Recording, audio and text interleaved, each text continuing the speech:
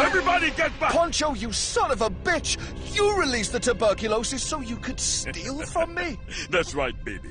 A lot of people would pay top dollar to decimate the population. I'll take the highest bidder. Al Qaeda, North Korea, Republicans, Shriners, balding men that work out, people on the internet that are only turned on by cartoons of Japanese teenagers. Anything is better than working for you, you pompous, negligent, iTunes gift card as a holiday bonus giving.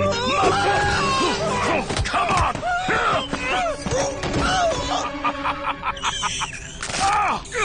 You guys! It's gonna burst! Go! Go, go, go!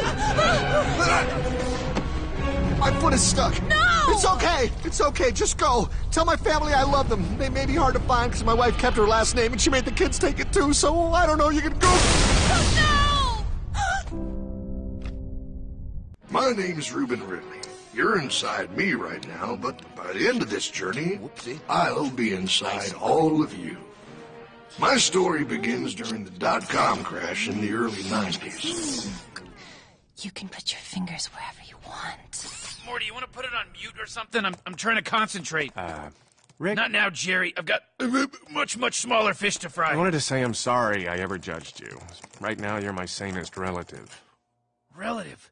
R- Relative size. Jerry, hand me a scalpel and a bundle of dynamite. Morty, can you get to the left nipple? Are you kidding? I'm hoping I can get to both of them, Rick. No, Morty, I'm talking about Ruben's left nipple. We need to get to the left nipple. The body is decaying.